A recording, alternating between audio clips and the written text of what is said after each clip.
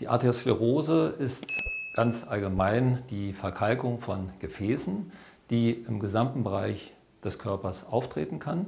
Diese tritt vorzugsweise an den Gefäßgabeln auf, also sowohl an der Karottesgabel beispielsweise, als auch in der Leiste, an der Femoralisgabel und an vielen anderen Gabeln.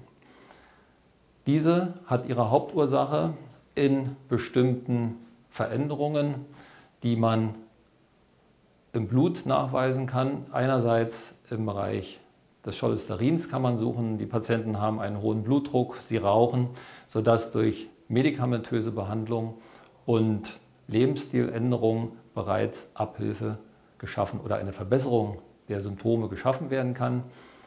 Wenn es zu einem Gefäßverschluss kommt, muss man auf die Symptome achten. Eventuell ist dann auch der Gefäßchirurg, Angiologe oder Interventionsradiologe gefragt.